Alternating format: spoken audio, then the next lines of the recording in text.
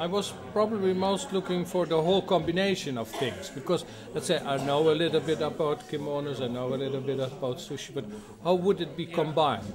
And especially then the idea of a Japanese salon was also um, an interesting fact that you thought, what would they present over there? How would you put the evening together?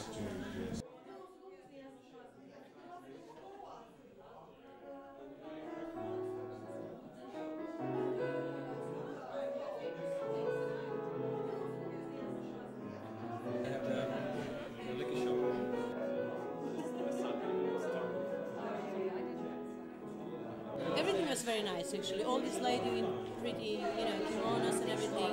Uh, food was delicious. Uh, the calligraphy was really fantastic.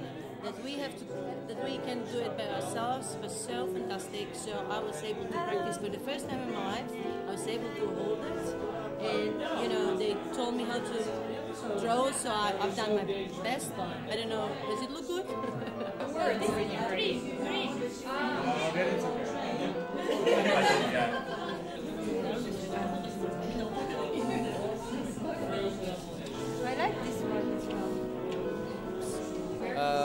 think I experienced uh, similar things to what I expected. Um, I expected to meet some lovely uh, Japanese people um, and uh, communicate a little bit and uh, learn some cultural things, sort of uh, interesting things about uh, sushi, for example, or calligraphy. Uh,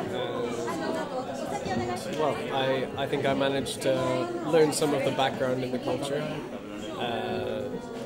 some of the sort of detailed elements involved, and uh, it, was, it was a cool evening, and I enjoyed it very much, and the food was excellent.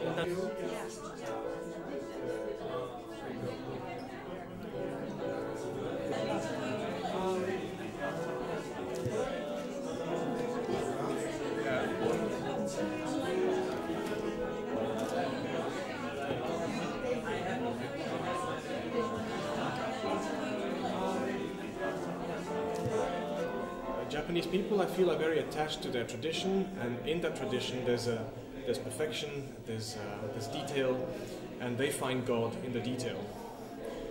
Some people say the devil's in the detail, but they find God in the detail. I like that. so that's my experience of this evening tonight.